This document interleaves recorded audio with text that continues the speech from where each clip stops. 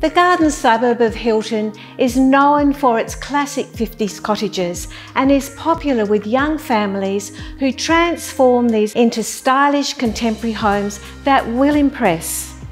And 12 Lee Avenue is such a property. A three bedroom, two bathroom home that will charm and delight you with its smart renovation, stunning living extension and a leafy garden setting. With terrific attention to detail throughout, it will be this fabulous modern kitchen, the open plan living and inviting outdoor entertaining area that will capture your imagination. With just five minutes from the port city, this property offers a desirable Freo lifestyle that will not disappoint.